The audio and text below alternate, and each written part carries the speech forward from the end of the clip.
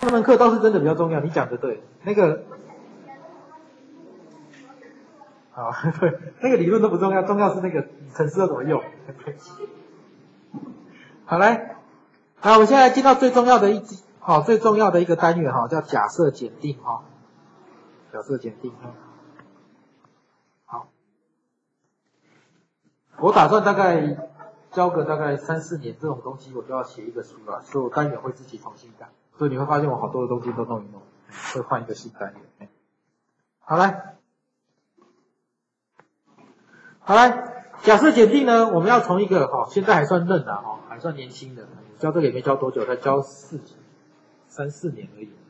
好，好来，我们先来看一个很重要一个例子哈。其实假设检定呢，这个东西在法院里面很常用。你在法院里面常常看到检察官起诉了一个人，对不对？那个人是就坐在前面。然后旁边就做一堆陪审团，然后再来就两个律师在那边讲他，对不对？第一个呢，法官要先做一个东西叫做无罪推论，我不知道你们是叫无罪推论啊？无罪什么？无罪思考，无罪推论嘛，对不对？就是我要假定这个人是没有罪的啊，例如他犯了什么杀人罪，我还是先假定他没有罪。那假定他没有罪之后呢，接下来检察官要拿出一堆证据，对不对？然后跟律师攻防。公访完了之后呢，再由陪审团来决定他相不相信这个证据，可以吗？假设检定的概念就是这样。我一开始呢，把我要我想要推翻的东西呢，把它当做一开始都是这样啊，大部分的情况是这样啊。好，大部分的情况其就是把我要推翻的东西当做它是事实，好，当做它现在呃应该是说当做它没有发生，好，这就是所谓的虚无假设 H 零，好。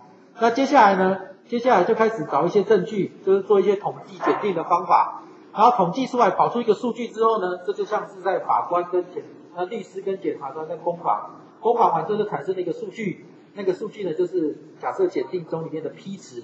好，这个 P 值跑出来之后呢，再来就由陪审团旁边坐的那几个人，对不对？那几个人来看这个 P 值重不重要？那几个人陪审团呢，就是什么？就是所谓的显著水准。好，显著水准。如果陪审团认为这一个呢够显著，那就把它给罪掉，对不对？就把它推翻掉。好，就把它抓去关就对了。好，如果不够显著呢，然后就把它放走。那把它放走，先听好这个概念哦。我现在把这个人放走，代表他一定无罪吗？没有，只是你现在的证据不够起诉他。所以假设点定的概念也是一样。如果你现在是不显著。不显著不代表你一定要接受它，是代表你目前的证据还不够，这样可以吗？所以不代表说你一定要做接受它这个决定，哦，你自己呢心里要有个底哦，哈，它可能证据不够，所以你一定目前只是接受它而已，啊。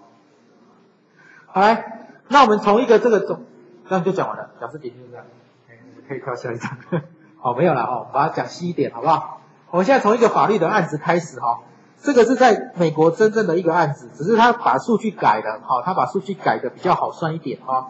来，他在一九六零年跟一九八零年，一九六零年跟一九八零年呢，他们提出了一个东西，就是他们认为陪审团里面它具有种族偏见，好，种族偏见，好。其实我忘记，我前阵子在看，我就忘记美国南北战争的时间在哪里，因为前阵子那个。那个微博是哪里？上面不是微博，那个 QQ 还是什么？上面有那个叫什么林肯有没有？林肯那部片就讲南北战争，好，我忘记他的时间了，好，好来，他呢认为陪审团有种族偏见，就是认为黑人太少，好，陪审团的黑人太少，所以呢，他们理论是这样哈，他的理论是说呢，在陪审团的成员里面。它是从合格公民里面随机选出来的，所以陪审团它是有一个合格公民表，就好像抽样调查一样，它有一个表。那这个表里面呢，它这个表会记录你如果有犯前科，它就不可以当陪审团。就是你的判刑良好的人，不是判刑良好，判刑良好是判刑哈，是你素行良好的人，你都可以，你都有可能被选上当陪审团。它是随机挑的，香港也是用这个方法，它是随机挑的。好，就是说呢，它假设我现在要组成，我忘记是五个还是六个了，好。你如果看一些港剧就可以看到了，有一个港剧叫，好推销一下，有个港剧叫《法证先锋》，好像有第一集还是第二集，对不对？它里面就有介绍，它里面包括，其实你看那部戏，你看完不是看那个《法证先锋》是谁演的？忘记了，忘记了。好，反正那是法证，那是证，没有还有还有律师的。我在找我看那个法证不是法证是在什么？是在那个解剖的时候，有没有那个尸体法医的？嘿，那是法证。我不是讲法证先锋，是另外的。我在问我老婆啊，我老婆都看很多了哈。我他跟我老婆看，哎，那那些呢？里面呢？你除了看那些之外，你还可以看到他法庭的生态，就是他的陪审团有几位，陪审团如何去讨论这个东西要不要，就是要不要让他过还是不过，然后陪审团里面的成员会怎样起内讧，哦，它里里面都有，哦，怎样去做决策，那一部片里面都有，我可以找给你哈。那那个陪审团是随机的。如果你在香港呢，香港的合合格公民，只要你的素行良好，都有机会当陪审团。所以你可能是扫地阿姨当陪审团，可能是一个煮菜的当陪审团，可能是一个什么呃那个开杂货店的老板娘当陪审团，也有可能是一个什么很有钱很有钱的大老板当陪审团。他只要花你来当陪审团，你就一定要请假去做陪审团，因为这是你的义务，啊，这是你的义务，哎。好来，所以呢，他的理论是这样，他的论调是说，合格公民里面，他有一半的人是非洲裔。简单的讲，就是像这个，有看到？他有一半的人是什么？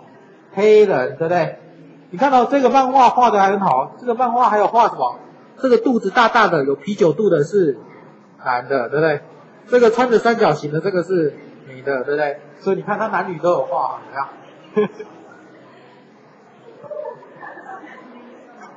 肚子大大的也可以是孕妇啊，对不对？好，不一定嘛，对不对？好，好，来，那种族偏见里面，他说八十个陪审团里面，他八十人的陪审团初选名单，也就是说，他从所有人里面先挑八十个出来当初选，初选里面竟然里面只有四个是非洲人，也就是说，你看这边总共有八十个，我没有仔细算啊。但是以这个漫画作者的严谨角度，你可以回去看录音档，然后你把它打开暂停，算算看是八十个人。好，我没有算过了哈，应该是。但是它里面只有什么？只有四个是黑头的，对不对？所以它只有四个是非洲裔。好，只有四个是非洲裔。他的问题就说，这个是巧合的吗？还是呢？他在挑的时候呢，有种族偏见，他先把黑人给裁掉了。好，黑人给裁掉了。好。所以呢，这时候呢，它是一个什么？它其实它是一个伯努利实验哦。为什么？因为我们 N 是几个人？我们抽了八十个人初选，对不对？然后你总共全部合格的人民里面，白人占二分之一，黑人也占一半，对不对？所以你抽到黑人的几率是多少？二分之一。所以你成功的几率是二分之一，有没有？那，你看哦，这个漫画，我们讲完这个就下课。好，这个漫画呢，有没有看到一个女神，对不对？这个女神就是忘记她是谁了哈，雅典娜吗？不是吧？来，我们讲一下，她拿了一个天平。你看，我们讲完这个哈，她拿了一个天平，这拿了一支剑，有没有？这眼睛被蒙起来，有没有看到？好，这是标准的，在法院外面都会有。好，天平代表它是公正的审判。宝剑代表他要铲奸除恶，蒙上双眼是代表他是公正的，他不管被原告、被告是谁，他一定要有证据才可以起诉他，这样可以吗？所以它是有意义的哦。好，好，我们上到这里。好，我们上次讲到这一页，对不对？我们昨天讲到这一页哈，我上次有讲这个女神很重要，对不对？其实我忘记他是什么名字，她好像叫叫跟 Justice 有关，跟海泰有关，好，忘记他怎么。猜猜看哈，可能是这样吧，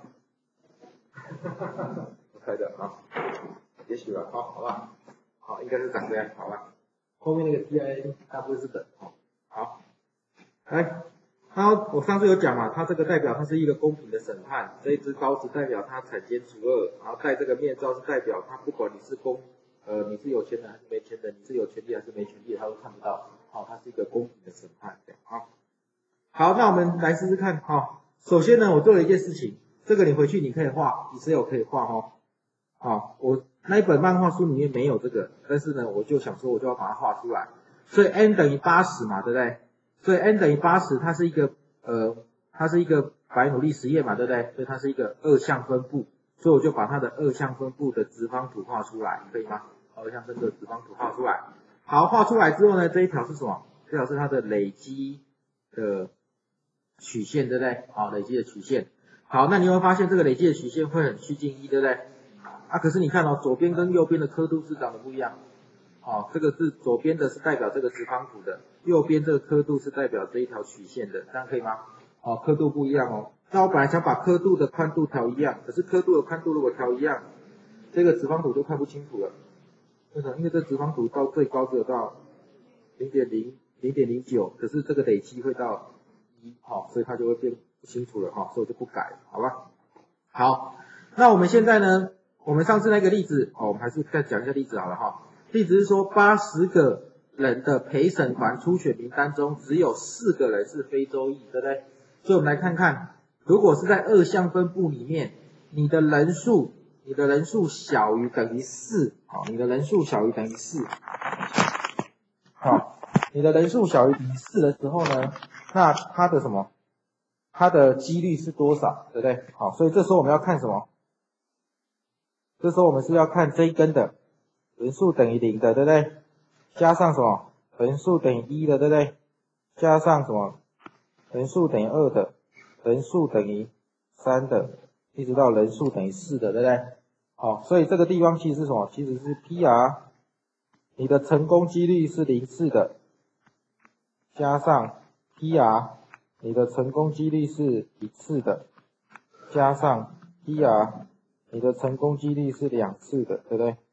再加上什么？PR，你的成功几率是三次的，还有一个加上 PR，你的成功几率是四次的，对不对？可以吗？好，就等于是这样。好，那我加起来之后呢，我就算出来是这个值，你可以用 Excel 去算哦，哈。好，算出来这个值是很接近多少？是很接近一点四乘以十的负十八次方。是非常非常的小，对不对？哦，非常非常的小。好，所以我们就有一个问题啊。那你说非常非常小，它真的很小吗？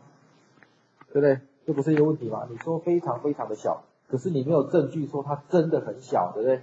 所以这时候呢，我们就要有一个证据出来了。所以呢，我们先帮你算出一个值哦，应该这个 P 值就是呢，检方跟检察官跟律师两个在辩方提出来的证据。好，现在要一个来决定这个值是不是很小，对不对？那决定值很小的是谁？是陪审团，对不对？好，所以呢，我们要先把它找到一个陪审团来决定这个纸很小。好，这时候呢，我们为了用一个很简单的，所以这个漫画书呢，他说要解释给法官听，为什么这个纸很小？他就说大家都玩扑克牌，所以他都拿扑克牌里面呢拿三次同花大顺。其实我已经忘记了同花大顺的顺序是多少，是一二三四五吗？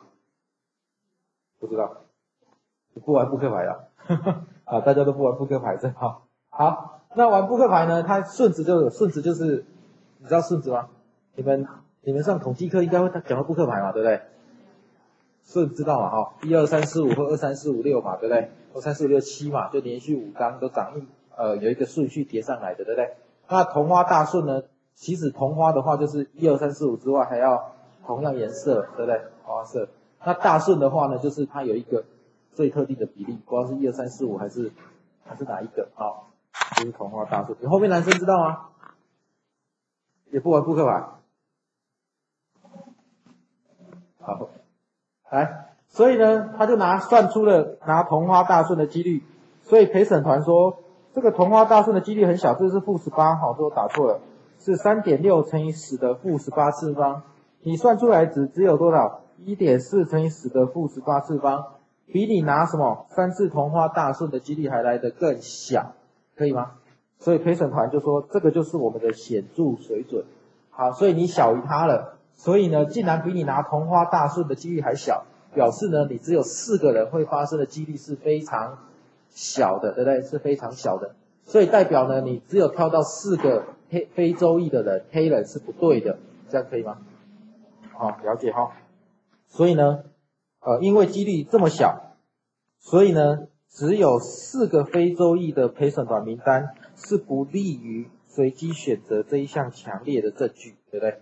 啊，你如果随机选，不应该只有选到四个人嘛？为什么？因为四个人的几率实在太小了，比你玩扑克牌还来得小，对不对？啊，好，那个真的很小，我还没有拿过两次以上，哎，最多只有玩过一次。那我都已经这么老了，啊这么久扑克牌也做一次，啊，好，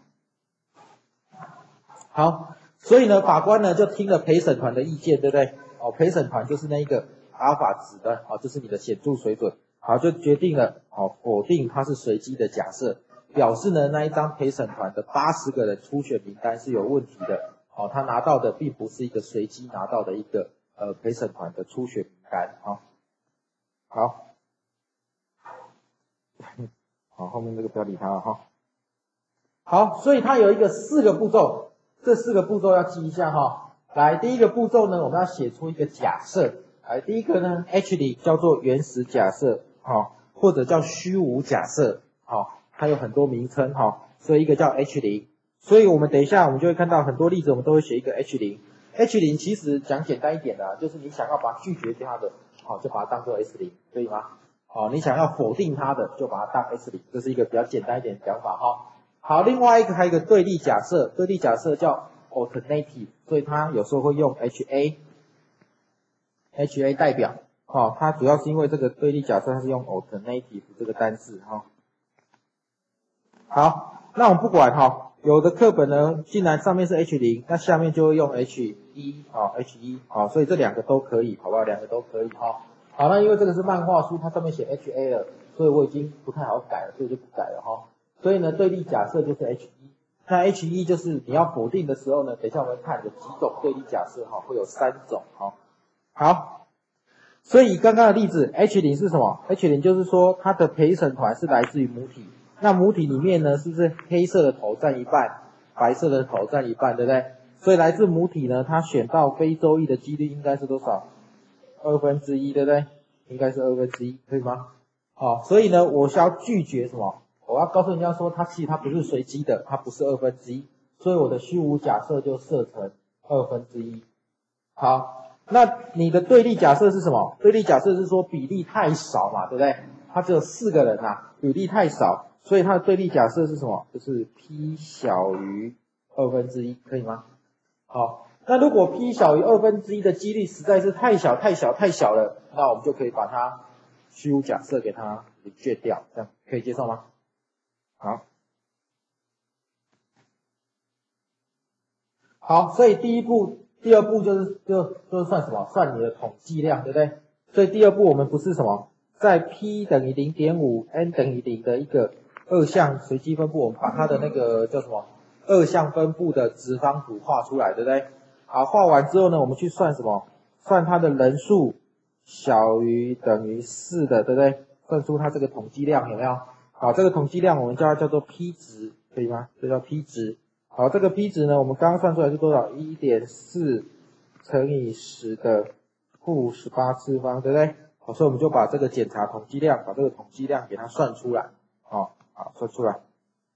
好，哦，对不起哦，应该还没有算到统计量哈。这个统计量应该是算什么？应该是算这个哦，s 小于等于四这个而已。好，好，然后接下来才把这个 P 值算出来，对不对？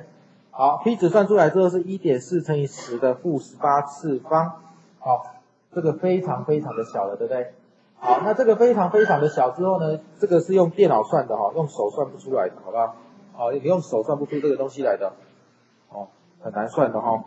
好，算完了之后呢，接下来是什么？接下来就是要比较 P 值跟什么？跟陪审团的意见，对不对？好，陪审团就是谁？就是显著水准阿尔法。所以呢，我们阿尔法呢是一个很重要的分界点，哦，一个很重要分界点。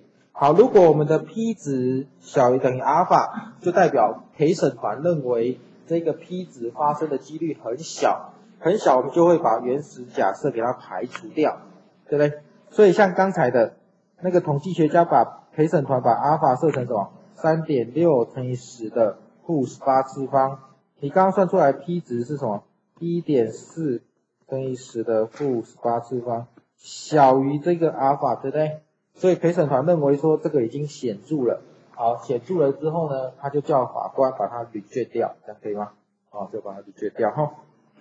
好，有没有看到这只鱼就说可疑，对不对？可是我不知道为什么要画这只鱼呢？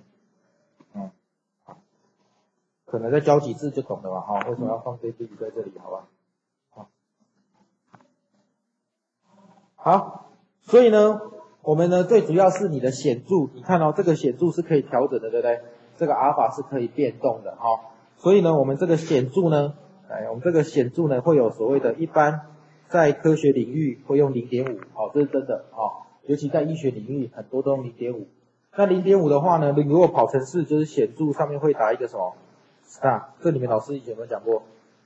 好，记得哦，如果你以后你看到两个母体在做比较，如果打一个 star，代表它们的显著的水准是设零点零五，好，另外零点零一呢是出来是两个 star，所以你如果显著水准有时候你看到那个报表后面会有两颗 star，就代表它的显著水准是零点零一，好，那也有三颗 star 的。很少用，三个 star 是多少？零点零零一，好吧？哦，很小很小，好，很少用这个啊，大部分都是用一颗或两颗，啊，那很多科学期刊都还是登是两颗啦，啊，一颗啦，对不起，一颗，啊，都还是是一颗 star，好，那如果一颗的话呢，就是二十次里面它可能会错一次，对不对？因为你的显著水准是多少？是百分之五，对不对？百分之五是多少？二十分之一。好，你的显著的显著水平是百分之五，对不对是二十分之一，这二十次还有可能错一次哦。好，这有没有问题？好，好，所以呢，我们再讲一次哦。第一个虚无假设就是 H 零，对不对？好，那我们现在要开始慢慢的来告诉你哪些要设成虚无假设哈。来。对母体参数的某一个假设或者主张其假定为真实的，所以先主张它是真的。就像你在法官的时候，你会先主张这个也是没有罪，对不对？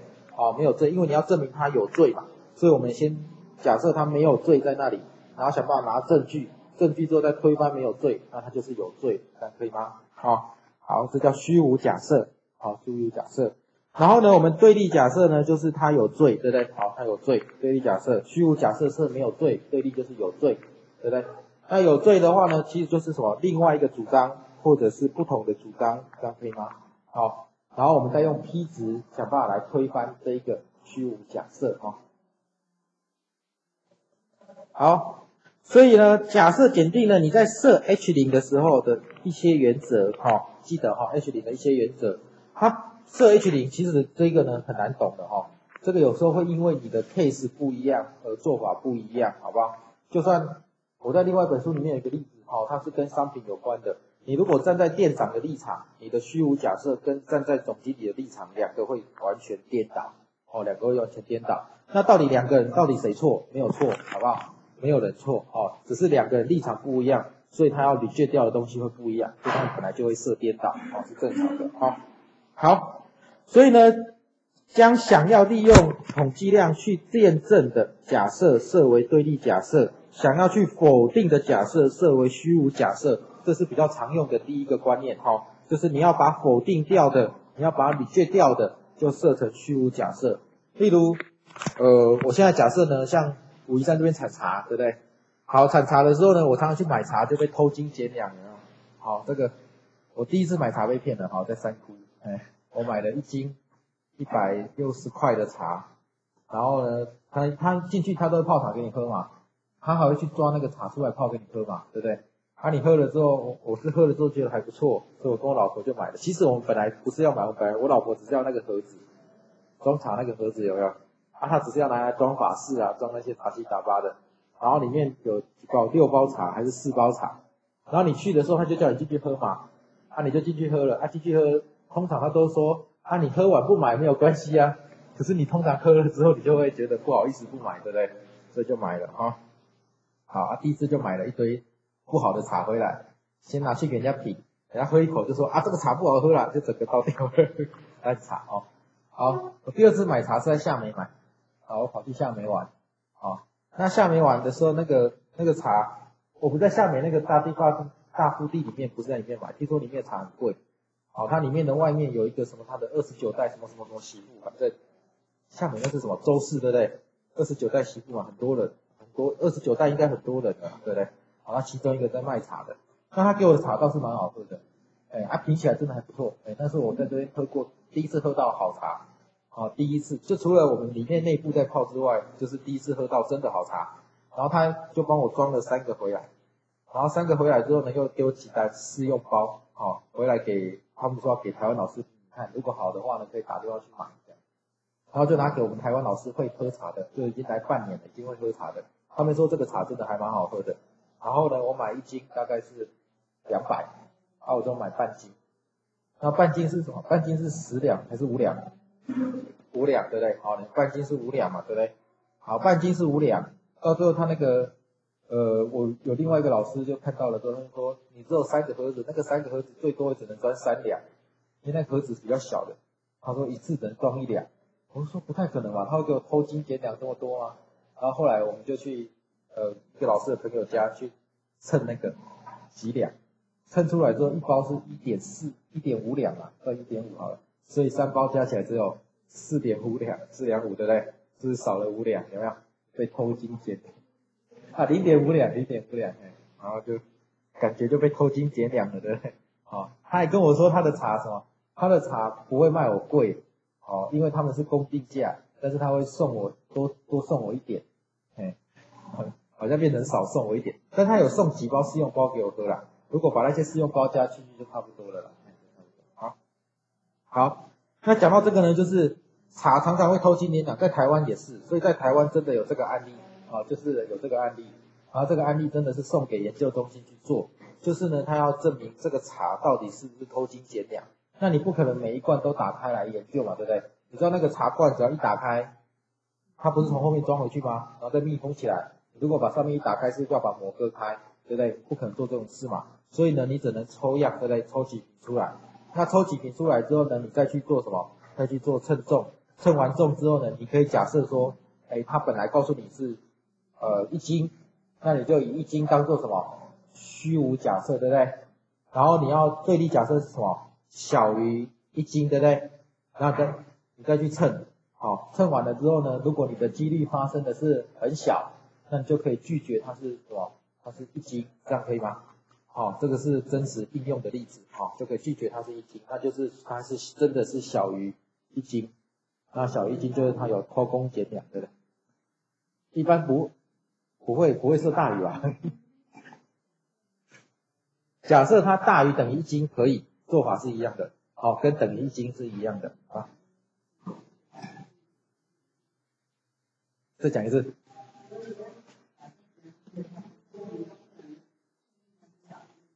对啊，对啊，对啊，对啊，对啊，哎，我昨天跟你讲的，哎，只是以你目前的证据，它是什么？如果你拒绝了就可以了，你拒绝掉的话，哎，好。来，第二个呢是错误地拒绝某一个假设的后果比较严重。有没有比比较严重？那这样子的话，我们就该假设呢设为虚无假设，可以吗？好，那这个呢就是跟你的应用有关的哈，这个我们课本也都看不到，好不好？这个跟你实际应用有关，例如水资源污染的时候就会用到了哈，例环境污染啊，水资源污染啊，或者什么空气污染啊，或者你癌症啊，有癌症没癌症啊这一种有没有？好，这种如果你把有癌症的看成没癌症，好，你把它拒绝它是有癌症，那不就完了嘛，对不对？好。这样子，所以走好，好，再来就是其他人的主张作为虚无假设，对不对？好，一即假定呢，其他人的主张是真实的，那我要把他的主张给他推拒掉，这样可以吗？啊，这也是啊，我们通常法官、法院就是做这个，对不对？啊，就是这个，好，好，所以我们来看几个例子，两个例子就好了啊。第一个，呃，我要知道出生儿的体重是不是？比以前重，那我的虚无假设要设成什么？H 零，啊设成什么？三对，H 零就是你的平均体重是什么？三，H one 呢对立假设大于三嘛，比以前重，对不对？好，所以大于三，好，好，那下面这个呢是我营业部宣称该年公司的。年销售额为五百万元，这个是真的有的哦，好，因为公司他不想发那么多钱给股东，所以他会说他的年销售额只有五百万元。但是股东说你不应该只有赚这么少，应该要赚多一点，对不对？所以我的 H 零是谁？等于五百或者小于等于五百都可以，可以吗？好，来等于五。那 H one 呢？大于五百，这样可以吗？好，销售额大于五百，这样有问题？好，所以其实很简单的哈。好，那再来呢？两个假设完了之后呢，再来就有两个决策，好，两个决策。这个决策就是你到底要拒绝 H 零还是不要拒绝 H 零，对不对？好，一个就是不拒绝 H 零，就是接受 H 零。那我上次有讲，对不对？你接受 H 零只是暂时接受，依你现有的证据要接受它，好，因为你的证据还不够，对不对？啊，未来你搞不好会收集到更多的证据，你就有办法履券它了，哈。好，所以我们会分成两个，哈，会有所谓的接受欲跟不接受欲，就是拒绝欲，好不好？好，好，那另外一个是什么？拒绝 H 零，好，把 H 零拒绝掉，好，把 H 零拒绝掉。那如果呢，你的统计量落在拒绝域，那我就把 H 零给它拒绝掉。它 H 零拒绝掉就代表是什么？H one 为真，也就是说依你现有的证据，我就可以把 H 零拒绝掉了，好，我就可以判 H 零要去关，这样可以吗？好，好，所以呢，我们会有一个什么？会有一个显著水准在这里，对不对？它相对应的会有一个临界值，这个临界值呢，会把我的 domain 呢分成两个区域，一个是什么？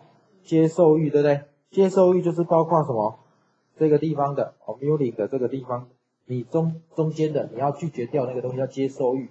那如果很小很小，这边才叫做什么拒绝域啊？我们以右尾，哎，这是左尾啊，左尾来解释，这样可以接受吗？可以了哈。好，所以最重要有两个，一个就是你的这个显著水准阿尔法，另外一个是谁？这个临界值 star 可以吗？这个有的会用什么？会用 d star。或者用什么？用 T star 可以吗？好，要看你的分布是用哪一个哈。或者是什么力的，这个是负的了。如果是这边负的什么阿尔法，T 的负的阿尔法，这样也可以，好，好吧？好，好，所以呢，我们最重要就是我们的法官，呃，我们的叫什么？我们的陪审团，哈。陪审团呢，他会告诉你你要小于多少，对不对？所以这个阿尔法呢，就是你的显著水准很重要哈，还有一个显著水准。好，那显著水准就是什么？就是我们一般设成零点零五或零点零一，零点零五就是一个 star，零点零一就是两个 star，这样可以吗？好，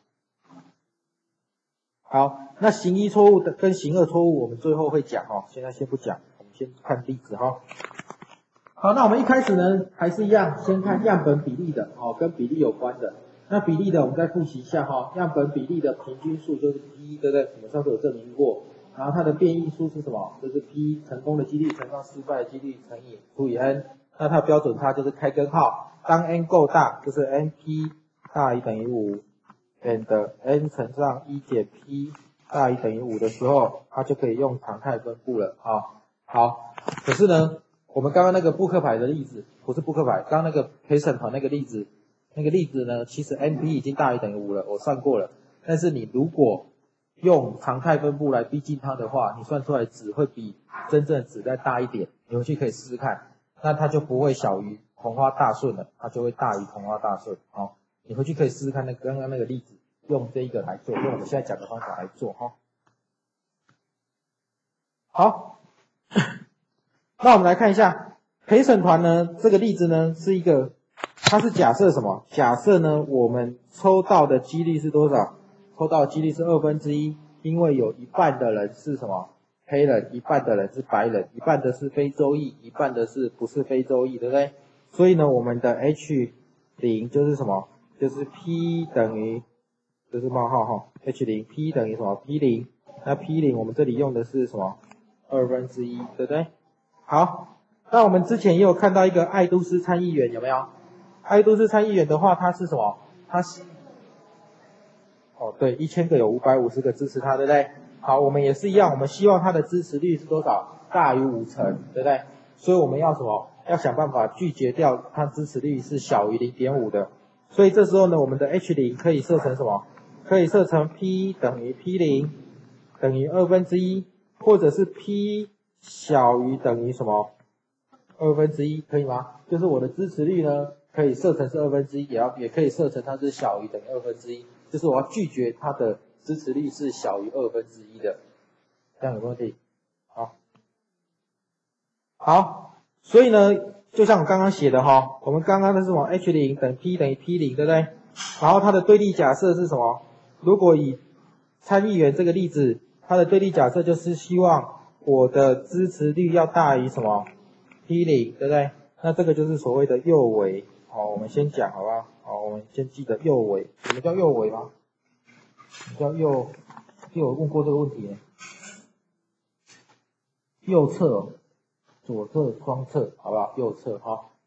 好，那它的对立假设呢？有可能是什么？有可能是 P 小于 P 零，对不对？那这个就是什么？左侧或者叫左尾，对不对？它如果 P 不等于 P 零，这个呢？这个就是双侧或者叫做什么？双尾，这样可以接受吗？好，好，陪审团的例子就是什么？就是我说我要去证明他什么？证明他真的黑人真的太少了，对不对？所以我的对立假设就是 P 小于零点五，所以这个是什么？这个是左尾，对不对？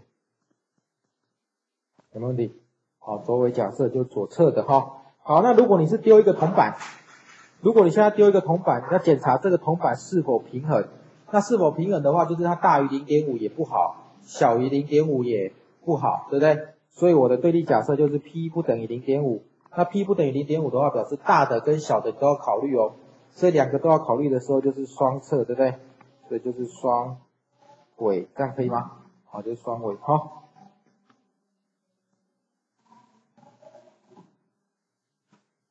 好，第二步呢？我们刚刚第一步是决定 H 零 H Y，第二步就要去检定你的统计量，对不对？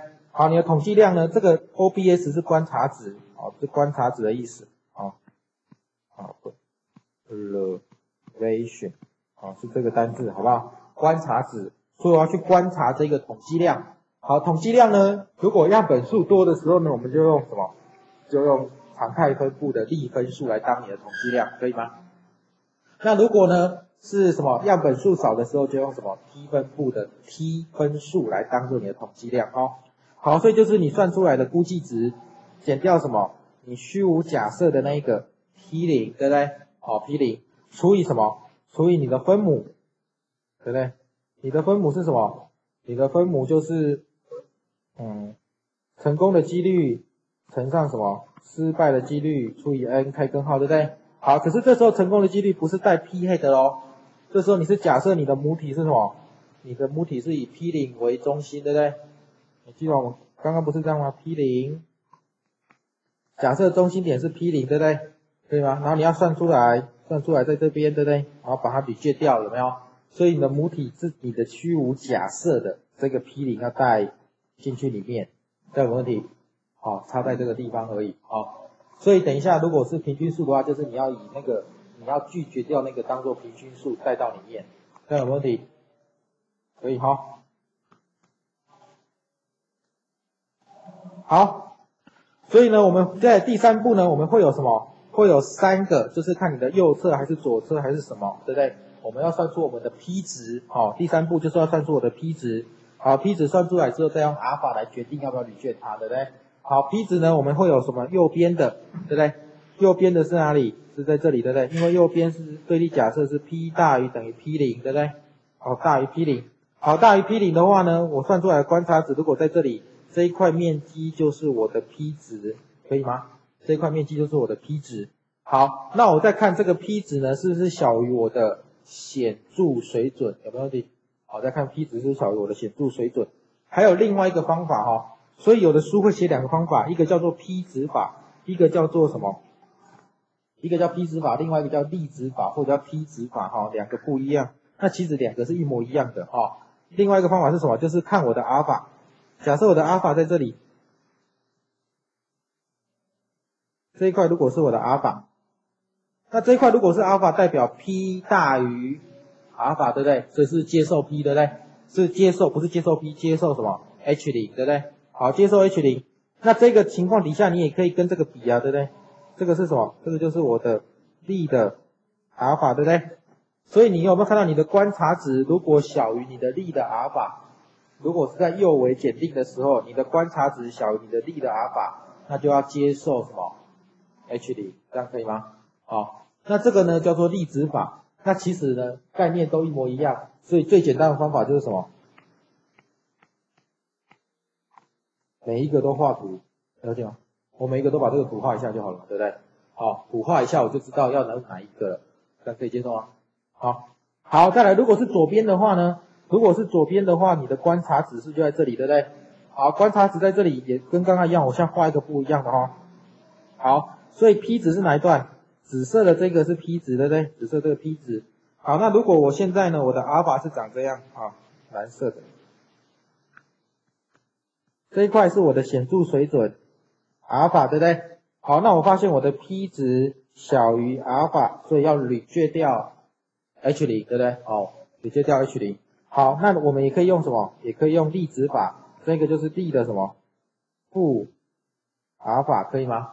啊，力的负阿尔法。那你会发现你的观察值 D 的 OBS 小于什么？D 的负阿尔法，所以就可以把它给去掉。好，所以这两个是一样的，那很容易搞混，对不对？所以就是画图，这样可以吗？好，等下我们看例子就知道了，画图就可以了哈。画图可以解决所有的问题哈。好，那如果是双边的话呢，就是看什么？看两边，对不对？那两边这两块加起来的就叫什么？这两块加起来是 P 值，对不对？好，如果 P 值不要讲那么难，P 值只要小于你的显著水准就滤去掉，大于你的显著水准就。接受它，就这么简单而已哈，你不要管什么力的阿尔法，什么都不要管它哈，好，不要再看就好了哈。好，所以第四步呢，就是把你的 P 值跟显著水准做比较，对不对？如果我的 P 值小于我的显著水准，我就给它 reject，对不对？可以吗？好，那如果你的 P 值呢大于等于显著水准，通常会大于了哈，不至于会等于，那我就给它做什么？accept，接受它，这样可以吗？那就接受它，好，所以你就可以做一个结论跟一个统计决断啊。那我这里呢，因为我觉得课本后面的例子，课本后面的例子都是计算的，那都是考试题，好不好？课本后面的习题，一百零四页那边的下面的习题都是考试的题目，所以我可能会印一张，好，另外一本课本的，好，我把下面的答案给它擦掉，那个没有标准答案的，啊。我就把上面的题目，它的研究案例整个印下来，台湾的一个研究案例，我把它印下来，然后一人发一张，好，然后你就照，还是我只要 QQ 发给谁就可以了。我看那一段，然后把图片 QQ 发给发给你，可以吗？然后我们把那个当做作业，好不好？啊，可是我会教你 Excel 怎么用的，哈，Excel 用完之后，你用 Excel 去跑它，好吧？去跑跑看，好。好，来，我们以这个爱斯度参议员的这个例子，好，这个例子的话呢，我们的 H 零是什么？就是零点五，对不对？我知道，我希望它的支持率能够超过零点五，所以你可以用零点五，也可以用小于等于零点五，都是可以的，好不好？哦，都是可以的。好，那我的对立假设就是，我希望它的支持率怎样？大于零点五，如果大于零点五，它就可以参选，所以它是一个右尾的，对不对？哦，它是一个右尾的，你只要看到这里是大于，就是右尾的。也就是说，你的零点五是在中间，这是已经是标准化的。如果没有标准化的，是代表什么？零点五在中间，这样可以吗？好，那我希望它的支持率能够超过零点五。那超过零点五的几率很小很小很小，对不对？那如果我算出来值真的超过了，那表示我可以离决掉零点五，对不对？好离决掉零点五。好，好，所以这时候我算它的观察值。观察值怎么算？刚才同学讲，你的 P head 是多少？一千个里面。有五百五十个人支持他，这是我的观察值，对不对？这个算出来是零点五五，所以就拿零点五五减掉零点五，除以来注意分母哦，分母是什么？点五零点五，对不对？这个是 P 零，这个是一减掉 P 零，好，所以不是用，不是跟我们之前算那个什么，我们之前在算它的信赖区间的时候是用零点五五乘上一减掉零点五五，不是哦，哦，不是的，你要注意一下这里哈。这边有差异的哈，好，所以算出来我的观察值是多少？三点一六，所以我算出来这边是三点一六，对不对？那三点一六，我接下来要查表，查这个什么？查这个 P 值可以吗？查这个 P 值，所以这个 P 值是什么？就是你的粒子大于等于什么三点一六的，对不对？好，大于或等于都可以哈，因为我们讲过了，单点没有几率，对不对？好，单点是零，几率是零啊，不是没有几率哈，几率是零。好，所以力大于等于三点一六，这一块面积算出来是多少？是零点零零零八，对不对？很小，有没有？也就是说，它告诉你什么？如果你的中心点是在零点五的时候，你要得到零点五五的几率是以上的几率是很小的，对不对？你要得到零点五五以上几率是很小的，所以你可以抵去掉什么零点五，这样可以吗？好，好，所以这个呢会小于什么？会小于你用零点零一这个显著水平，对不对？好，那这个就是多少显著？两颗，可以吗？好，两颗。那两颗它有时候会写在哪里？它有时候会写在这里。它会写 D 的 OBS 就是多少？就是三点一六，然后上面打两颗星，或者旁边打两颗星，这样可以吗？哦，每一本书的写法都不太一样哦，不一样。好，这样问题，这做法应该蛮简单的了哈。好，那这个呢是我要告诉你说，我们查表来，你看哦，这个是大于三点一六，对不对？好，如果我查表的话呢，你要先查什么？三点一六。你还记得这张表是什么吗？这张表是以中间为一半，对不对？然后到你的什么观察值，这个地方是三点一六，这一块面积是多少？有没有？对不对？但是我要的是这一块面积吗？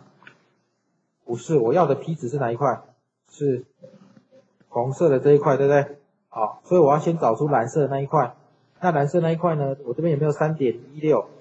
没有，这边只有到三点零九，对不对？好，我们把这个讲完哦。好，到三点零九都是多少？零点四九九零，对不对？好，三点零九，这不是三点一六，这个是三点零九，都是零点四九九零的。那红色的这一块是多少？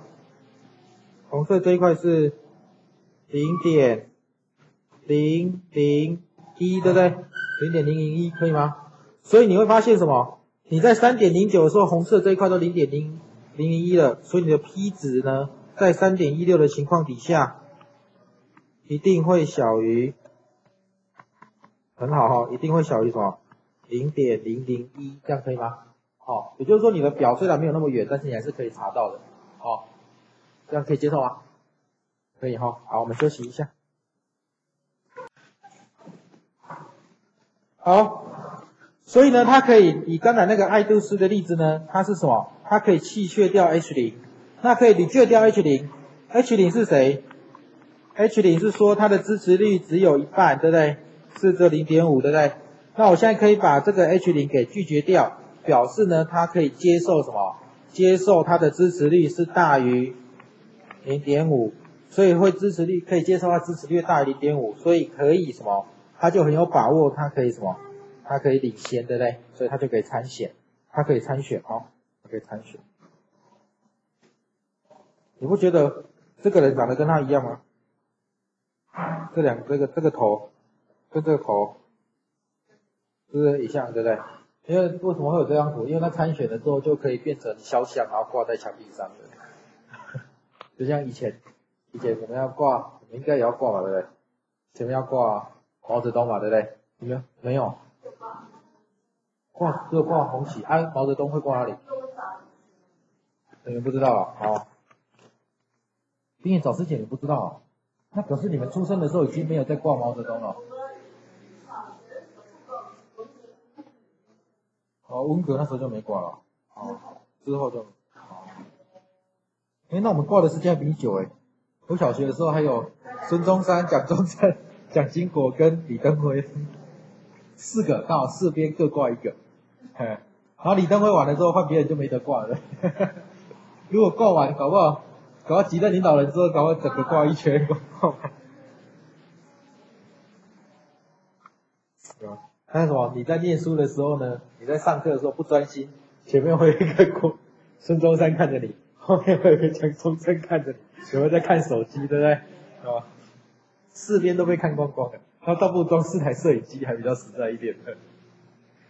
台湾有我们我以前服务的学校有一间叫逢甲大学，私立的啊逢甲大学。然后呢，他们我离开之后，他们有做一个，他们有做一个教学制。台湾现在有在做一些教学制度创新啊。他们就有一个教学制度，就是你们不是有一个门禁卡没有？那门禁卡是一个 RFID 的一个设备，就是你你要进去门，你如果有些大楼，你进去你不知道灯它门才会开，对不对？你才可以进去，有看到这种东西吗？哎，它那个门禁卡呢有一个功能，就是你只要在那个门上面设前后门都设一个监视器，都设一个感应扣、感应钮，然后你到走进来都不用登，你到门走进来就可以了。走进来之后呢，那个你你的那个那个叫什么点名簿上面就会灯，你就会亮起来，好。他第二个人进来，他就亮起来；他第三个人进来就亮起来。然后呢，那个是一个网络的，啊，老师，你家人只要点网络，点点到那个网站，然后看一下你这个哪一个班级，就是你儿子在的班级或女儿在的班级，点进去，点进去之后就可以看到他有没有来上课，嘿，那出去之后他就按掉，啊，再进来他就会再打开。哦，不带就不能不带那个卡，对。然后另外还有一个就是全班的。老师也可以点啊，老师也可以手控点，啊，老师就可以看到全班的点名状况是什么，所以老师就不用点名，就可以省掉点名的时间。哎，那个实施两个礼拜之后，好像就被学生抗议了。然后现在好像没有做，台湾就是这样，台湾就是学生抗议就，学生如果抱怨的很严重，他就会把这个政策取消。哎，像那个，像网络也是，那个有一间学校，我记得是源自大学吧，还是哪一间？他们本来想要设定凌晨四点断网，四点到六点断网，然后学生就集体抗议了，像你凌晨四点断网，你四点还在上网要干什么啊？你四点干嘛要上网？本来人家都十二点啊，因为很多学校十二点断网会被抗议。像我以前念书的学校，交通大学，他十二点要断网，学生全部都抗议。我就想说奇怪，你十二点断网，你还在干什么？你做报告也不会做到十二点啊，对不对？你十二点以后会做报告吗？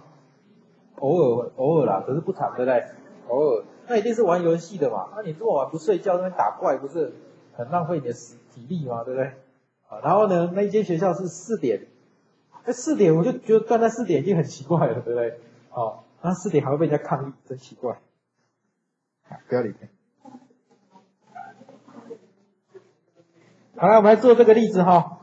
现在呢，有一个市的中学教师呢。他大学本科毕业的比例是零点六，啊，这个你们这边应该还有了哈，在台湾就不一样，台湾所有的中学教师一定都大学毕业的啊，几乎全部都大学毕业，除了一些老的，几个年老了，快退休的而已啊。好，它的比例为零点六，好，所以我们知道我们算的一个 p hat 是什么？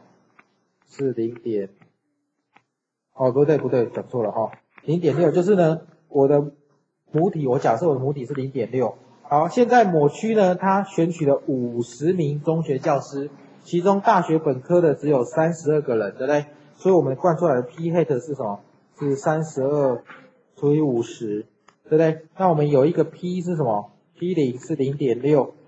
那我们现在想要看一下这个区呢，这个区跟呃整个市里面是不是有差异啊？就是本科的比例是不是有差异啊？本科比例是有差异。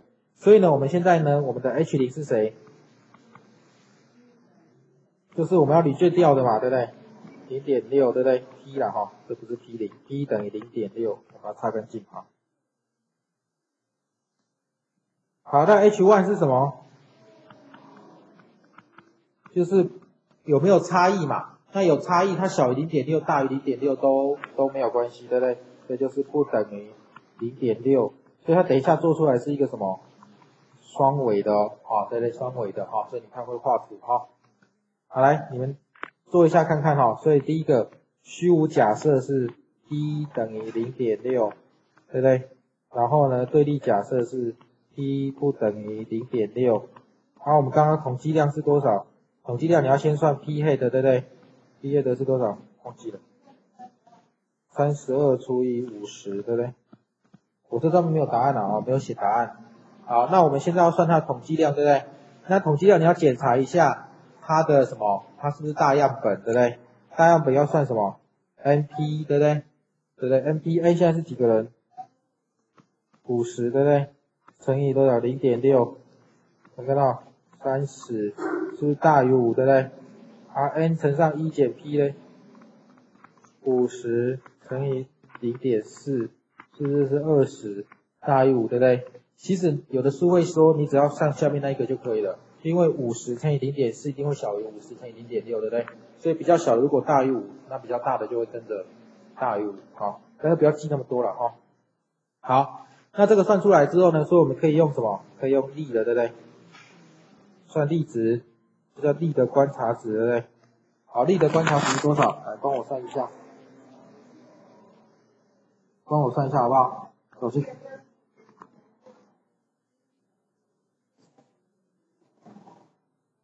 三十二，先算三十二除以五十嘛，三十二除以五十，零点六四哦，对，这很好算，对不对？好，所以上面就变成什么？零点六四减掉零点六除以根号，零点六乘以除以五十，嗯，对，好，好，所以上面是多少？零点零。四，下面呢？来算一下，看看，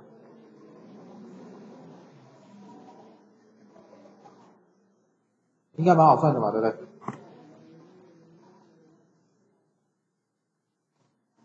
算出来了，零点零零四八，零点零零四八开根号。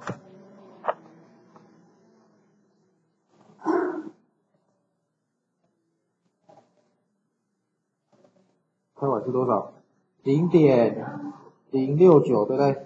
所以除以零点零六九，可以吗？那零点零四除以零点零六九是多少？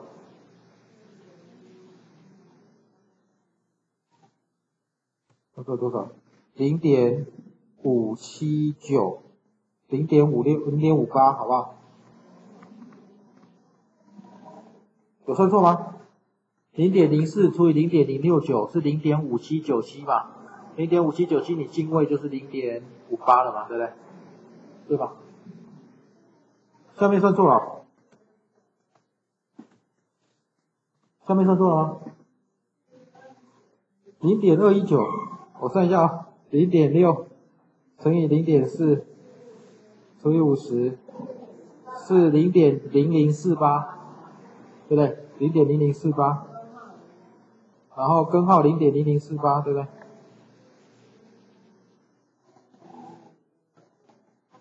对不对？零点零六九，对不对？所以算出来是零点零五八，这样可以吗？零点五八，零点五八。好，所以我现在要算的是什么？P_R，P 值就等于什么？P_R。我的力的绝对值，因为我是双尾，对不对？要大于多少？零点五八，就是左边要大于零点五八，右边要小于负的零点五八，所以就可以写成这样哈。所以它是一个双尾，所以我们来看一下，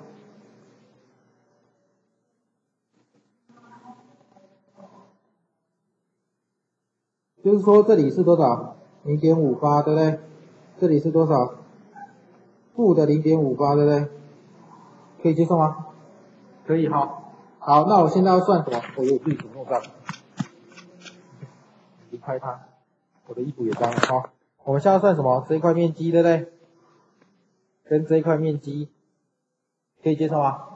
好，那我来查表，来看表，表表不在这里，表在哪里？表有零点五八吗？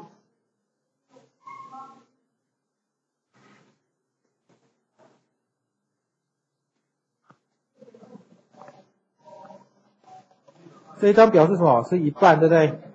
如果这里是零点五八，零点五八在哪里？零点二一九零，所以这一块面积是多少？是零点二一九零，对不对？可以吗？零点二一九零，所以你要的 P 值在哪里？你要的是这里，零点二二八。一，对不对？零点二八一，对不对？可以吗？所以零点二八一，但是我们的 P 值是哪边？两边，对不对？所以等下零点二八一乘以二，可以吗？对不对？等下零点二八一乘以二，这有问题？没问题哦。好，所以我们回到这里，所以这个 P 值应该是什么？我们刚查的，它应该是零点二八一乘以二，对不对？好，零点五六二，算速度好快哈。好，五点五六二，这个是大于什么？大于阿尔法，对不对？我跟这个阿尔法做比较，对不对？大于多少？零点零五，对不对？所以我现在是要什么？是要接受，对不对？对，accept 接受，对不对？接受这个假设的话，就是代表以目前的证据来讲，它跟这一个区域的跟整体的是一致的，这样可以吗？好，跟整体是一致的。所以呢，我们知道接受这个假设。所以呢，接受这个假设代表它的比例并无什么显著的差异啊，显著的差异。好，其实我们这样是跳着讲的啦哈。我们的第九章已经讲快完了啊，这是第九章的一百六十五页的这个例子啊。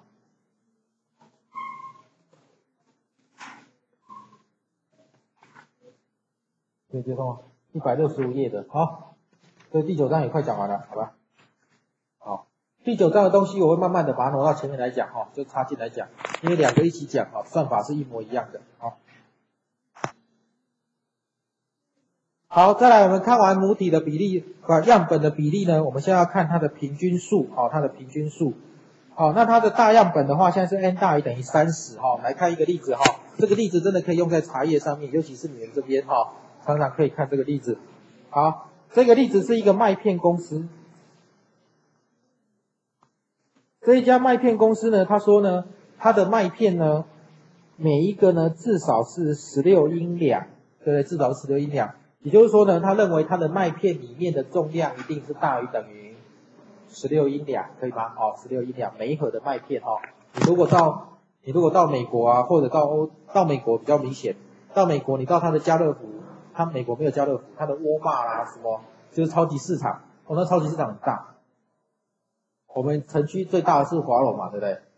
它搞不好有华龙的十到二十倍大，它的超级市场就是这么大。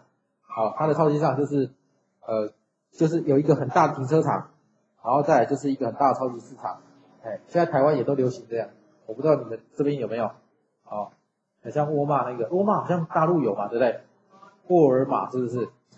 它是翻沃尔玛嘛，对不对？它是美国沃尔玛，好像是美国是第三大还是第二大的超级市场？哦，第一大的没有过来。哦，Costco 也是台湾的 Costco，就是学好事多。你们这边应该没有吧？大陆有的吗？没有。啊？好好用多一样的吗？不一样哈。那 Costco 叫，其实它应该叫 Costco 才对，Costco，Costco，它应该念 Costco，不是 Costco 才对。我们到夏威夷去哦，它也是很大一间哦，都很大一间。好，哦，对我去过很多地方。好，所以我都没存什么钱，钱也是花光光。好，他说他至少是十六英镑，他是一个真诚的食品杂货公司啊，不对，应该是说有一家叫真诚真实他真诚食品杂货公司呢，他收到他的货之后呢。发现呢，他量了几个，他的平均重量不到十六英镑，好，他就会整批退货了，哈。好，所以这时候呢，我们是抽样来量量看，它到底有没有小于十六英镑，对不对？好，如果十六英两不是英镑，英两英镑太重了，哦，十六英两。啊，如果很小很小的时候呢，我就直接说它不是十六英镑，表示它偷斤减两，对不对？好，所以我要把它退货。好，所以我们来看一下哈，我们这时候是看到是样本平均数的抽样分布。而且我们现在看的是 n 大于等于三十的这个 case，对不对？好，所以呢，我们来顺便讲作业。我们上次讲作业就这个，好，第一个呢，样本平均数呢，它的期望值是 mu，好，也就是说我要你证明什么？样本我从里面抽样是抽出来是 s one，对不对？啊，假设我抽出 s two，假设我抽出 n 个 xn，那我的样本 x bar 是什么？x bar 是 s one 加 s two。加点点点加到 x n 对不对？除以谁？除以 n，这是我的 x bar，可以吗？好，这是我 x bar。好，这个 x bar 呢，其实是一个随机的，因为这个抽样嘛，这都随机的，对不对？所以这每一个，你可以把每一个 s 都当做随机变数，因为都随机来的。我把 n 个随机变数加在一起除以 n，我帮你去证明这一个 x bar 的平均数就是 mu，可以吗？好，不会证查出也有，好不好？去找一下啊。会证就自己写，另外一个要证明就是它的变异数是什么？变异数是原来母体变异数的平方除以 n，好，它的变异数是母体变异数的平方除以 n，它的标准差是母体的标准差除以根号 n，所以你其实只要证明这个跟证明这个就可以了，好吧？所以注意就是要证明这两个啦。好，证明哪两个？我再把它框起来哈。来，证明这一句话跟这一句话，好吧？证明 x bar 的平均数是 mu，x bar 的变异数是 sigma 除以 n，这样可以吗？什么时候交？随便啊，学期末以前交，好不好？三个礼拜、四个礼拜交，这题回去自己慢慢写，好不好？都可以了，反正就早一天，你们都写好了就收上来就好了。哦，很随性的哦，这蛮简单的作业了。是要看你们以前的，我没有讲的很仔细，我因为我想看看你们以前学的怎么样。嗯，你们以前应该有证明过，应该就有了。哎，对对，找一下应该就有。哎，所以如果有一个人找到，你们应该下礼拜就可以交，对不对？啊，那个人晚一点找到，你们就晚一点交，对不对？所有的早一天找到，明天就可以交，对不对？你们好像有两个，哎，我不知道，现在两个班搞在一起了哈。有一个班好像是三个版本，你们班我忘记是几个版本。你们班作业，你们班这个应该还好，这作业简单了哦。哎，对，有一个比较难的那个班的作业大概是城市嘛，就他们教那个城市上来，哎，大概都三个版本。三个版本就是三个人写好，然后就复制、复制、复制，所以他的工作也是电脑没有错，但是是右键 copy，左键贴上。好像连复制也不用啊，只要把上面名字改掉就好。对。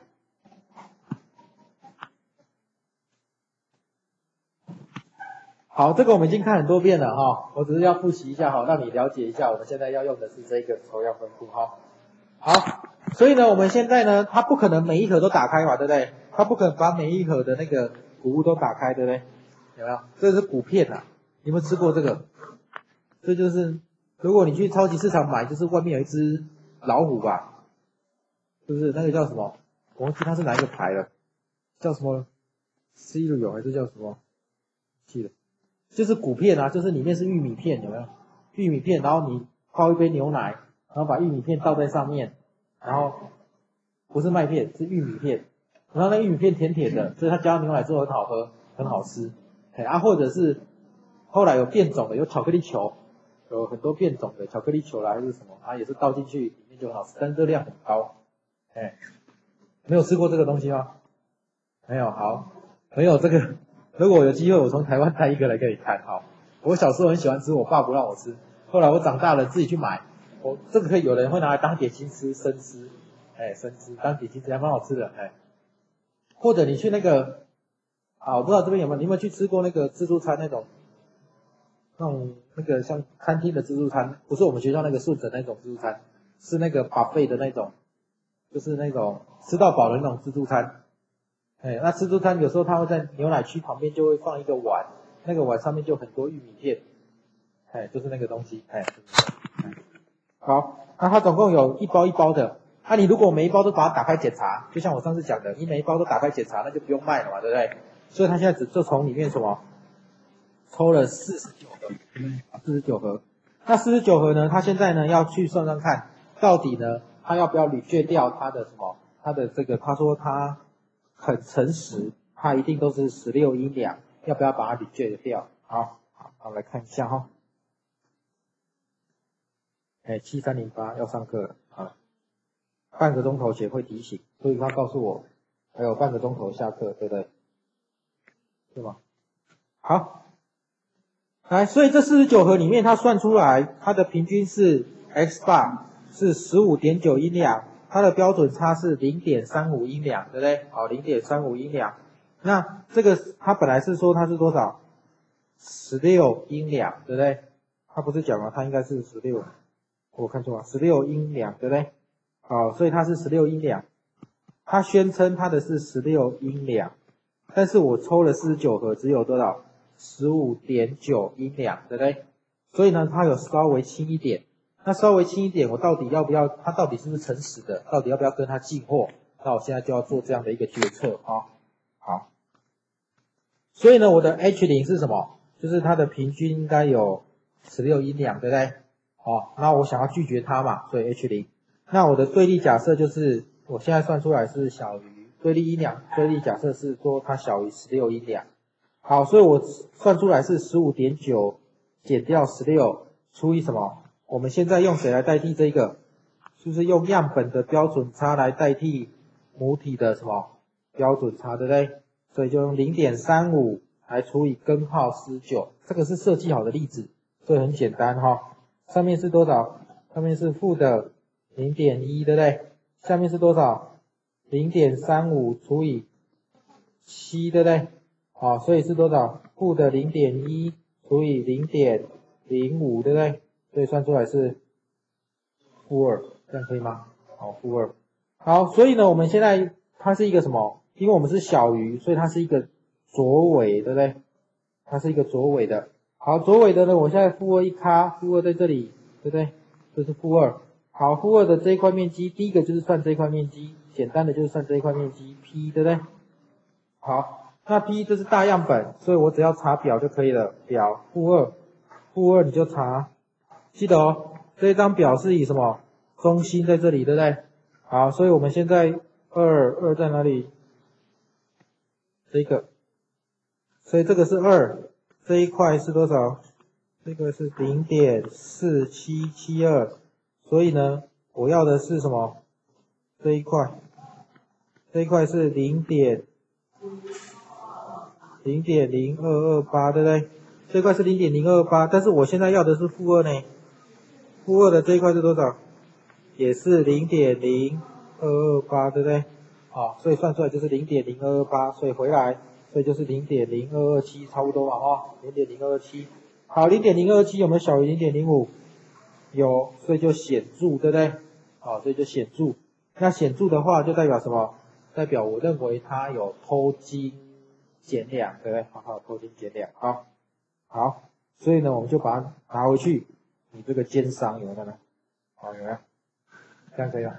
好，好，那这个它是显著水准比较高了。如果你的显著水准用的是多少？用的是零点零一，对不对？它就没有偷金减两了，有没有发现？好，所以有时候呢，他们有些东西有参数的，像这个其实是有个参数的。为什么这个参数就是你的显著水准嘛？你显著水准可以调嘛？至少你有三个值可以调嘛？零点零五、零点零一、零点零零一，对不对？至少你有三个参数可以调嘛？那你想拒绝它，你就把它弄小一点嘛，对不对？啊，你想要接受它，你就把它弄大一点。但是有时候你这个出去回来是会被拒绝掉。你如果不是用一般的，像现在如果有十几篇 paper，它都用零点零一的。好，但是你是做一样的研究，但是你用的是零点零五，那别人就会 argue 你说为什么大家都用零点零一，可是你用的是零点零五，好，所以有时候会有这样的现象。所以在做研究的时候，你多少要去看一下跟你相关的领域，它用的数据是多少，啊，大部分用的是多少。好，有没有问题？没有了哈，蛮简单的，对不对？好，那我们来看这个例子。某年高中呢，某个市呢，它的数学平均为六十分，好，然后现在从参加此次考试的文科学生中，随机取九十四份考卷，你看他都帮你算好了，为什么？因为考你试一定要帮你算好，不然你九十四怎么去加，对不对？九十四加起来除以 n 除以九十四，啊，第一个算错，后面就全错了，对不对？好，所以他帮你算出来九十四份的平均是五十八分，它的标准差是九点二分。他想问你说，文科数学跟全市的考生是否相同？猜猜看，如果是我猜，我会猜它会有一些差异，对不对？只是看这个差异到底是显著还是不显著而已，这样可以吗？因为你文科的数学一定会比较不好一点，啊，会比较不好一点，哈。就像如果这个题目换过来，就是考数学系的他的国文成绩，对不对？哦，通常数学系的国文成绩会比较差一点，啊，通常啊。英文成绩对不对？会比较差一点哈。好，所以来第一个写出我的假设，假设是什么？我的虚无假设是谁？是全市的平均成绩六十分，对不对？所以我现在虚无假设是什么？是 mu 等于等于六十分，对不对？好，我的对立假设是什么？对立假设是说它有差异，但是我不知道它的差异是好还是不好，所以就不等于六十，这样可以吗？好，，mu 不等于六十。好，所以我们现在检查它的统计量哦。那算统计量之前要先算出它的平均 x bar，对不对？x bar 是多少？是五十八分，对不对？五十八分。它的标准差 s 是多少？九点九点二。好，很好哈，九点二。好，所以我现在要算出它的力的观察值，对不对？因为这是一个大样本的嘛。为什么大样本？n 等于多少？九十四吧，啊，九十四对不对？是大于等于三十对不对？给它大样本的哈。好，所以力零等力的观察值 OBS，对不对？观察值是等于什么呢？是等于五十八减六十除以除以根号 n 对不对？根号多少？九十四，来吧，大家算一下吧。这个是负二。对不对？计算机又要出现了哈。九点根号九十四，你们有工程用的就用一下吧，因为我这个还要挂号，什么很麻烦。好，挂号好了哈。九点二除以根号九十四，零点九四九。哦，对，零点九四九，哎，很好，所以是。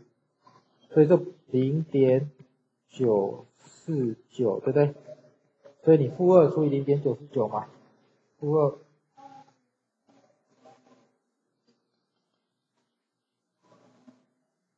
多少？二点一零七，好，很好，所以是二点一零七，负二点一零七，对不对？这样可以吗？好，所以负二点一零七，所以我们来看一下画图哈。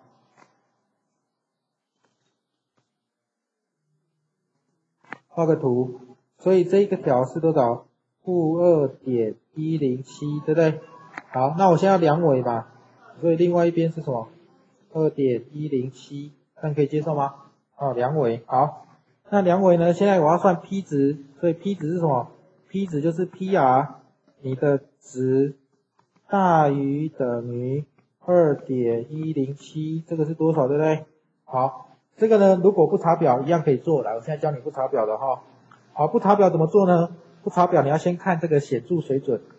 显著水准阿尔法是零点零五，零点零五是代表两边加起来多少？两边加起来，零如果以零点零五是代表什么？两边加起来零点零五，所以中间是多少？零点九五，对不对？零点九五这个点是多少？一点九六，这个点是多少？负的一点九六，对不对？所以我现在把这张表贴上来哦，一点九六在哪里？就在这里，对不对？这是一点九六，这个是多少？负的一点九六，可以吗？好，所以你看，你把它对上来，对上来，这一边这一块蓝色的面积加上这一块蓝色的面积是多少？零点零五，对不对？这两块面积的和是零点零五，哦。写太多字了，它已经开始写累了啊，零点零五，所以你会发现呢，它这个 P 值会小于等于小于等于什么？我把它写清楚一点好了，小于等于 PR，力值大于等于多少？一点九六，对不对？那这个是多少？零点零五，对不对？啊，好，零点零五，所以它显著了，那它显著是一颗星，这样可以吗？好，一颗星，一颗 star，好。这个时候呢，他已经告诉你它的显著水准是零点零五，你就可以这样做。这样做你就不用再去算 P 值是谁，因为你只要知道它是小于零点零五还是大于零点零五，这样可以吗？好，那不知道 P 值，像我这个只是要知道它到底显不显著，那你用这个方法就好了。为什么有时候你要算出 P 值？因为 P 值会告诉你你的显著差异到底有多大，对不对？如果你看哦，如果你的条件是零点零五，但是我算出来的 P 值是零点零零零零三，那是不是远小于零点零五，对不对？那代表它一定是非常非常的显著，所以 P 值可以看出它的显著能力，是吧？好，显著能力，可以吗？好，好，来我们来换个小样本的。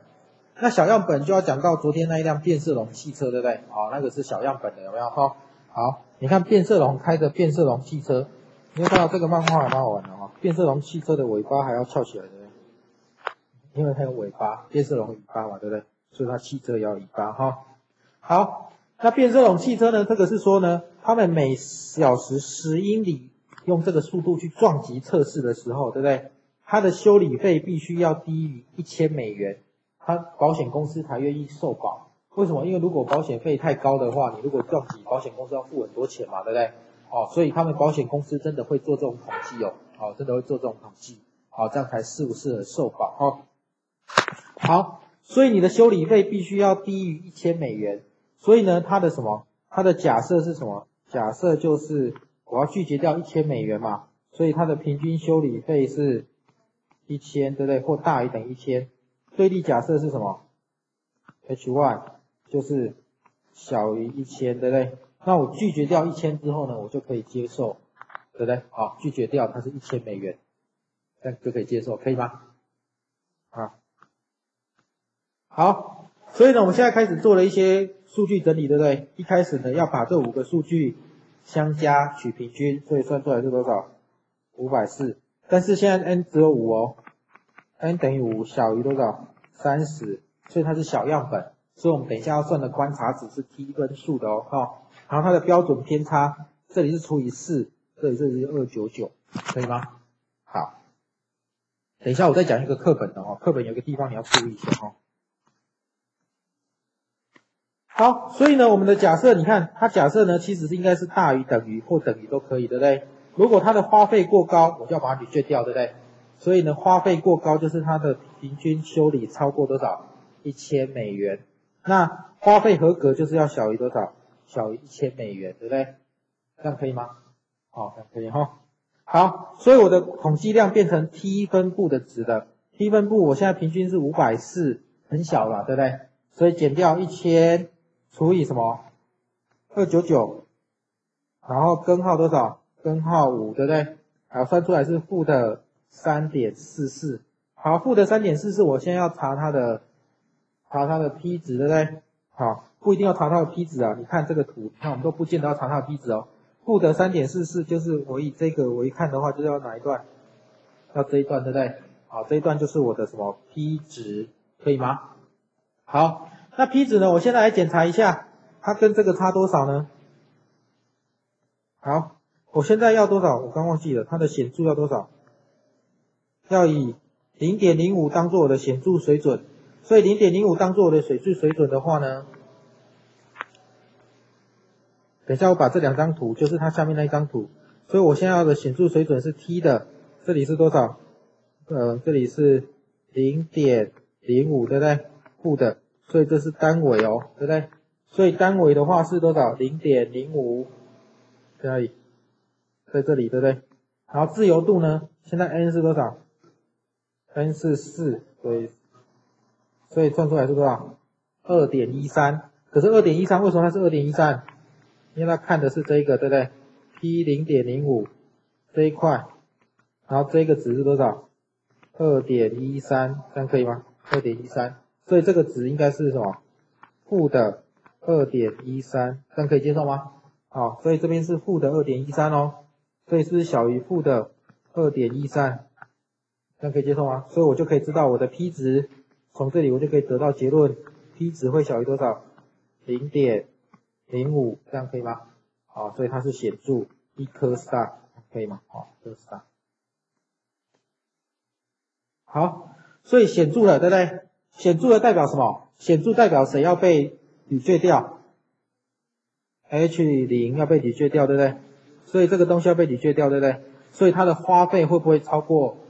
一千不会，那它的修理花费不会超过一千，那我就可以接受这个花费，所以我的保险公司就可以让它受保，这样可以吗？好，所以我是屡拒掉 H 零，但是我接受了 H one 哦，我屡拒掉 H 零的时候，我会接受 H one，H one 就是你的花费小于一千，好，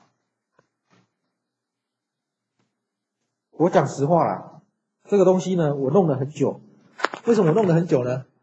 因为我会以前念书的时候，我一直搞不懂接受跟拒拒拒绝，哦，这个我一直搞不懂，因为我我一直会觉得说，我明明是要什么，是要接受小于一千啊，对不对？那为什么不是把小于一千放在虚无假设，对不对？然后算出来接受它，这样可以吗？好，但是这样即使后来我慢慢才搞懂，我刚刚一直强调那句话，你的证据呢是要把什么，把它推翻掉的。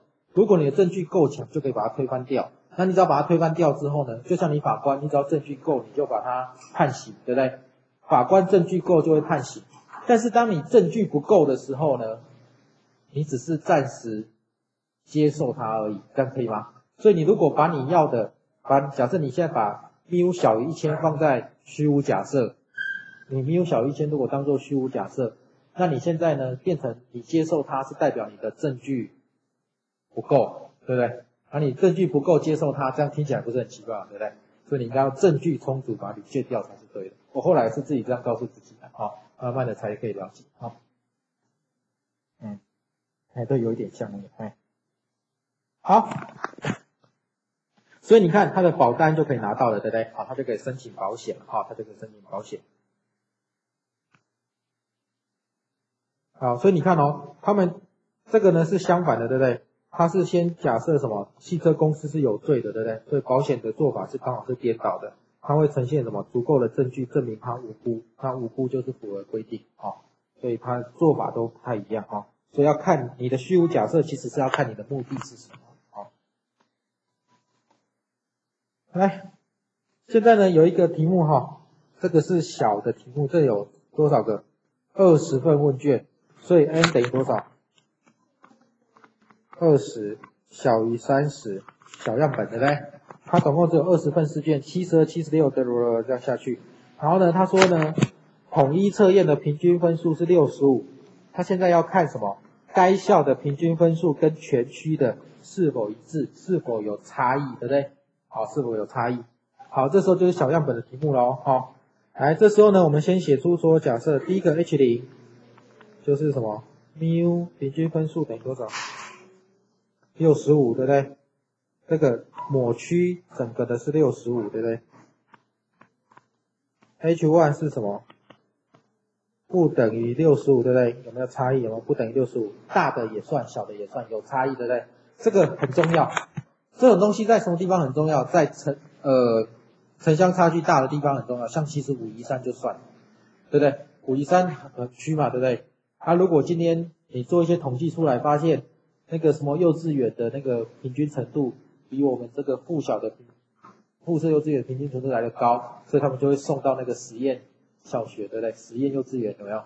啊，听说这边很多老师都把小朋友送到实验幼稚园，不念不念旁边那个，啊，不念旁边，旁边那个好像是 BOT 出去的，就是它还是私人的，哎，只是它是呃算是学校的附设小学这样。我听到是这样啊，我不知道对不对。好，H 零 mu 等于六十五，H one mu 不等于六十五，对不对？然后上面已经帮你算出来 S 八是多少，S 是多少，所以来大家算一下统计量吧，动一下笔吧，好。诶，我们是四十分下课吗？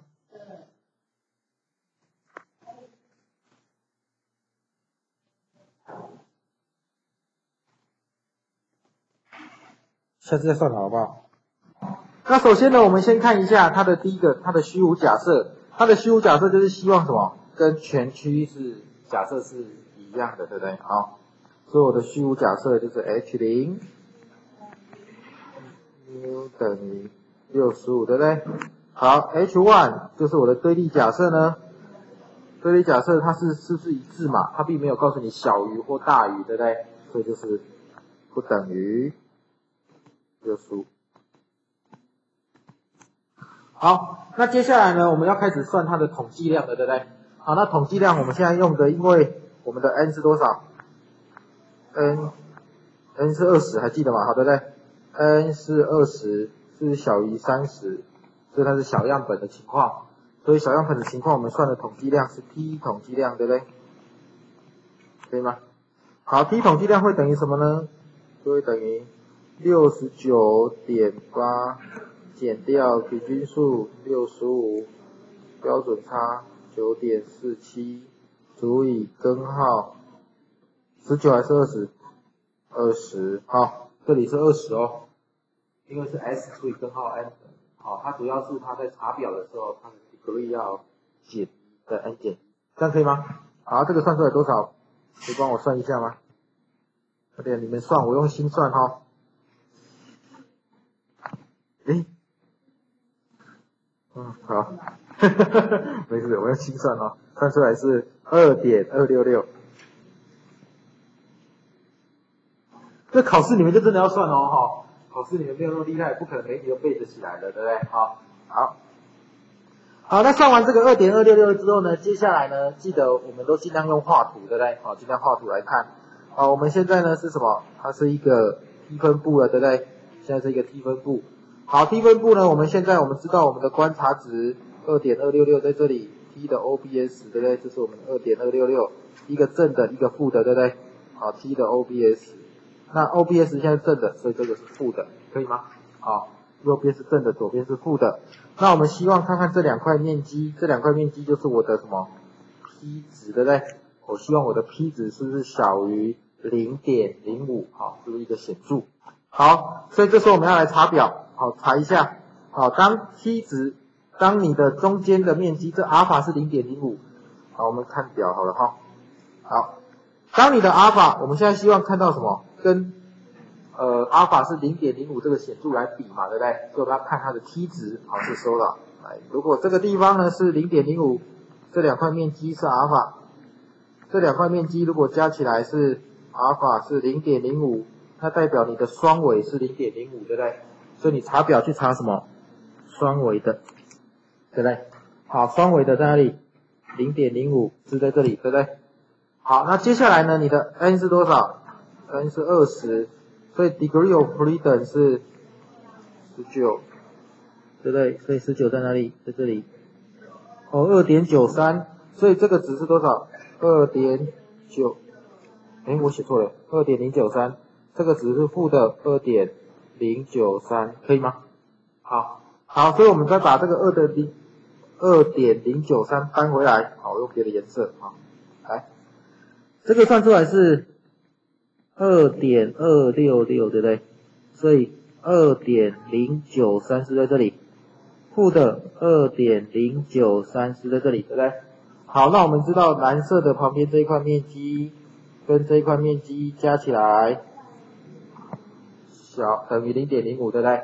好，这两块蓝色的等于零点零五，对不对？所以红色的是一定小于零点零五，好，好，所以我们的 P 值是什么呢？P 值就是 PR。我现在是我的 T 值，我写错了，应该挂号。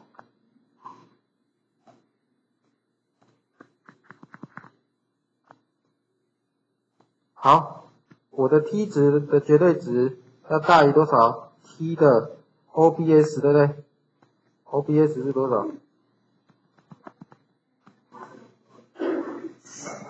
二点二六六对不对？好，二点二六六。那我们刚才已经看到了这一块面积会小于等于红色的哦，我还是用蓝色的哈，PR T 值大于多少？二点零九三，对不对？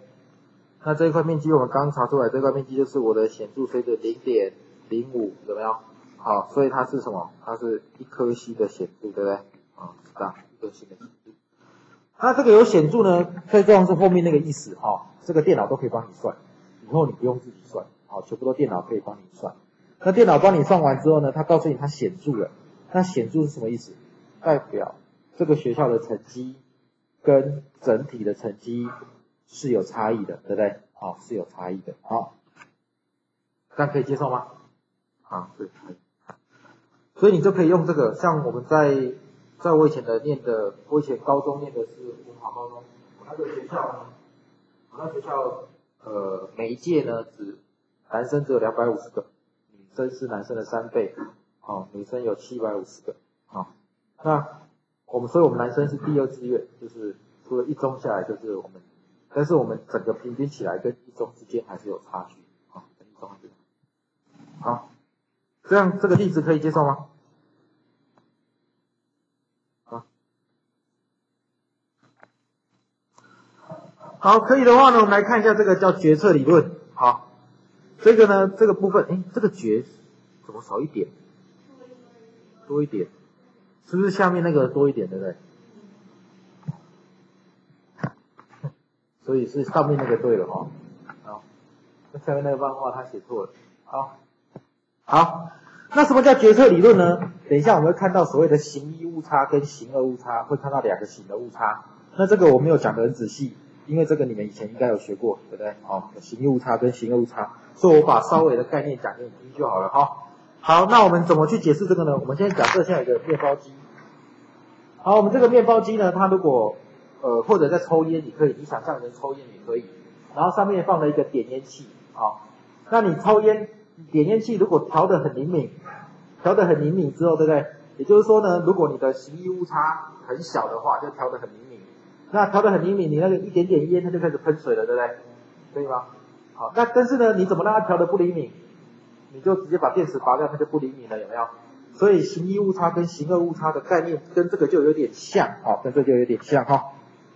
好，我来看看看哈，什么叫形一误差？形一误差就是呢，我现在火警来了，讲举个例子哈，我现在有火警，有火警，但是你的警报没有响，对不对？你警报没有响，这就是所谓的行医误差嘛。发生了错误了嘛，对不对？火警来了，警报没有响，啊，这是你的行医误差。那你怎么去降低行医误差？你就把警报器调的灵敏一点，对不对？你的行医误差就会比较小，可以接受吗？再听一次哦。现在失火了，你的警报没有响，警报没有响是代表什么？代表这叫行医误差，是代表它失火它没有办法感应嘛，对不对？那你就把它调灵敏一点。它就会感应，对不对？所以你就会降低你的行一误差，但是你会增加另外一个叫行二误差，就是你抽一根烟，它也会喷水，这样。好，所以你的行二误差就会增加了，哈，行二误差就会增加了。好，所以行二误差是什么呢？行二误差就是，哎，我是不是讲颠倒了？好，我讲颠倒了，好，好，第一型误差就是没有火，但是却有警报，对不对？好，第二型误差我刚讲颠倒了哈，失火了却没有警报，对不对？失火却没有警报哈，那你怎么把？你怎么把第一个误差呢？把它避免掉，没有火它有警报，怎么把它避免掉？你就把电池拔掉，它就避免掉了嘛，对不对？好，但是你把电池拔掉之后，它是不是就不会叫？对，它不会叫，所以它第二型的误差呢，它就会发生了，这样可以吗？好，其实那个颠倒是没有关系，再把它颠倒回来就好了哈。只是我讲的刚好跟漫画写的颠倒而已哈。好，所以我们会有两个错误哈，两个错误。来，第一个错误是什么呢？第一个错误就是你的虚无假设是真的，但是你把它拒绝掉了，对不对？这个就是什么？这就是我的显著水准嘛，对不对？可以吗？我刚一开始不是假设它为真嘛，对不对？阿尔法为不，中间是缪为真，对不对？然后呢，我接下来算一个 distribution 有没有？然后如果它的什么，它旁边的 p 值小于什么，小于的显著水准阿尔法，那这样子呢，就把它滤掉掉，对不对？所以在这个为真的情况底下，你会把它滤掉掉的几率是多少？是不是这两块？只要小于这两块就会被滤掉掉，对不对？所以它的形异误差就是所谓的阿尔法，这样可以吗？好，这是你算出来显著水准。好，那另外一个显著，另外一个形二误差。形二误差是什么？就是 h 零为假，就是你的虚无假设是错的，但是你竟然没有拒绝它，这也是错误的嘛，对不对？它是错的，你又没有拒绝它，对不对？这就是形二误差。那这个呢，我们叫做贝塔，好，这个叫贝塔。等一下我会看到阿尔法跟贝塔之间的关系，哈。好，所以其实你就可以看到这个状况，哈。第一个就是 h 零为真，但是我把它拒绝掉了，对不对？好，这就是我的错误率，对不对？这就是我的形一误差，可以吗？这就是形一，对它上面这个是正确的哦，h 零为真，你不拒绝它是正确的，对不对？好，这个也是正确的哦 H 一为真，就是 h 零为假，对不对？h 零为假，对不对？但是呢，你拒绝它了，对不对？这个也是对的嘛，对不对？那形二误差在哪里？形二误差就是上面这一块，有没有？h one 为真，就是 h 零是错的哦，但是你不拒绝它，对不对？这就是行二误差，这样可以吗？好，行二误差，所以这是行一误差，这是行二误差。好，